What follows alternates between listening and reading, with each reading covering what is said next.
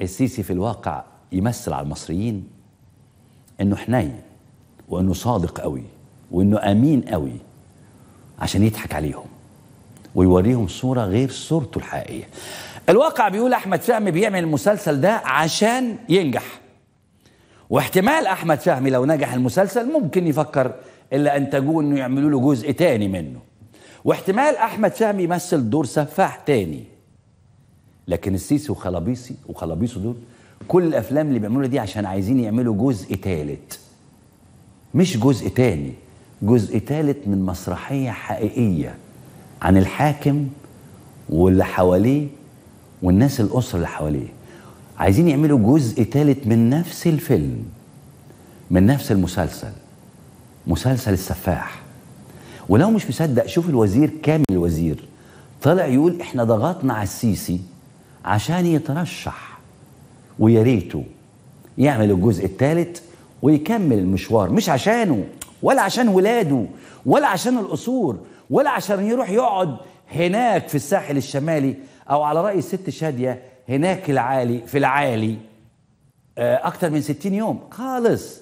ولا عشان يشتري طائرة ملكة السماء بنص مليار دولار في بلد بتشحت. خا أنت أنت في حتة تانية. الراجل عايزه يكمل عشان مصر.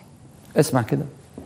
ضغطنا على ال- ال- ال- المشير عبد الفتاح السيسي بقى ساعتها إنه لازم يترشح ولازم لا- لازم الجيش يشيل. طب الجيش الجيش يشيل. وهو راجل مدني شال المسؤولية وتقلد مناصب المناصب ال- أو المنصب ال- ال- ال- الرفيع اللي يستاهلوا اللي يقعد على على الكرسي. اللي يقعد على الكرسي. ما أقدرش. ما أقدرش على كده ومقام السيدة. آه، ده تقريبا فهد بلان المطرب السوري. آه، معلش حضرتك قلت إيه؟ هو قال إيه؟ معلش. قال ده الجيش لازم يشيل وهو راجل مدني. السيسي راجل مدني؟ لا. أنا ممكن أعتذر عن إن أنا أكمل المقدمة لأن أنا هقل أدبي. مين اللي راجل مدني؟ سيسي كان إيه؟ طبيب نساء ولادة؟ كان دكتور صيدلي؟ ولا كان مهندس إنشاءات؟ كان إيه السيسي عشان يبقى راجل مدني؟ قال لك الجيش لازم يشيل والسيسي راجل مدني. لا ده أنت راجل بقى لا مؤاخذة. لا مؤاخذة قوي. انت قمة اللا مؤاخذه اس اس اس اسمع تاني وهو بيقول الجيش لازم يشيل وهو راجل مدني. اسمعها تاني كده. إحنا اللي ضغطنا على ال- ال- ال- المشير عبد الفتاح السيسي بقى ساعتها انه لازم يترشح ولازم لا- لازم الجيش يشيل. طب الجيش الجيش يشيل وهو راجل مدني شال المسؤولية. كان راجل و- مدني آه، إمتى؟ ما هو كان راجل مدني لما راح أعلن ترشحه. يا كامل يا كامل اعقل بقى ده انت كبرت. ده ما قلعش البدلة غير لما أعلن إنه آخر مرة تشوفوني بالبدلة. قال يعني إحنا كنا عايزينه بالبدلة ولا بالبدلة ولا ملط ولا يلزمنا. ده ما قلعش البدلة يا حاج كامل غير لما قال وأعلن ترشحي للرئاسة. يبقى كان إمتى مدني؟ لا كان موظف مثلا في الشارع العقاري وإحنا ما نعرفش. يا كامل ده ما قلعش البدلة.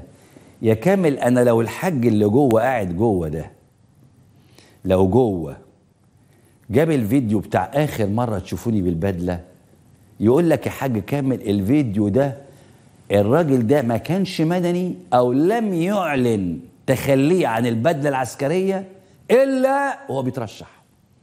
يبقى إمتى كان مدني؟ جاهز الفيديو ده. العبوا كده. العظيم. أيها الشعب الأبي الكريم اليوم أقف أمامكم للمرة الأخيرة. بزي العسكري. بعد أن قررت إنهاء خدمتي كقائد عام للقوات المسلحة وزيرا للدفاع والإنتاج الحربي. أنا قضيت عمري كله جندي في خدمة الوطن وفي خدمة تطلعاته وآماله وسأستمر إن شاء الله. اللحظة دي لحظة مهمة جدا بالنسبة لي. بس كفاية. أول مرة. كفاية. كامل يا وزير فين هو كان مدني؟ وهو بيعلن ترشحه. مش حضرتك تعقل كده وتكلمنا بعقل؟ ولا ما كملش المقدمة؟ يعني ما ما, ما ناكلش عيش بقى ونقعد بقى ونشتغل؟ ولا إيه يا كامل؟ يا كامل أنا ساكت عليك من بدري.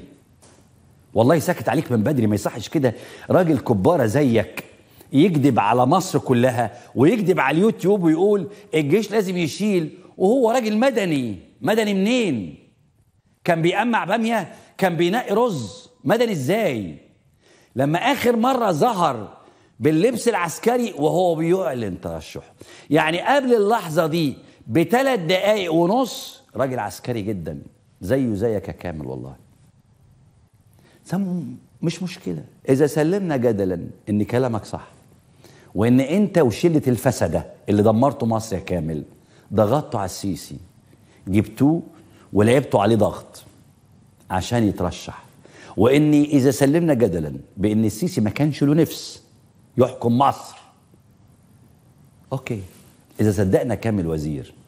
فالسؤال دلوقتي يا كامل ده كان في 2014 طب ومين اللي ضغط على السيسي في 2018 عشان فترة تانية؟ طب السؤال تاني يا كامل ومين اللي بيضغط عليه دلوقتي عشان فترة تالتة؟ يا كامل يا كامل عيب عيب الناس والمصحف أعقل من كده. الناس نضجت يا كامل. اوعى تفتكر انك هتقول الكلمتين دول فالناس تصدقك انه مش عايز. لا يا حبيبي ده كلام كان يقوله هو في 2014 أنتوا اللي جبتوني وانتوا اللي قلتوا لي تعالى.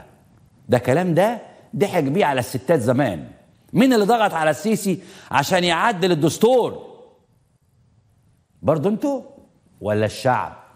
مين اللي ضغط عليه عشان يعدل الدستور ويكمل لغاية 23 ومين اللي ضغط على السيسي دلوقتي عشان يترشح لحد سنة 30 عيب. عيب اعقل. كفاية كذب. كفاية تدليس. كفاية تجميل لصورة سفاح. سرق البلد وكرسي وسرق خيرها وقتل عيالها. عيب. من الآخر يا حضرات كل البغبغانات دي مش بس الوزير ولا الباز ولا اللجان وغيرهم. كلهم هدفهم حاجة واحدة بس إن السيسي يكمل المشوار.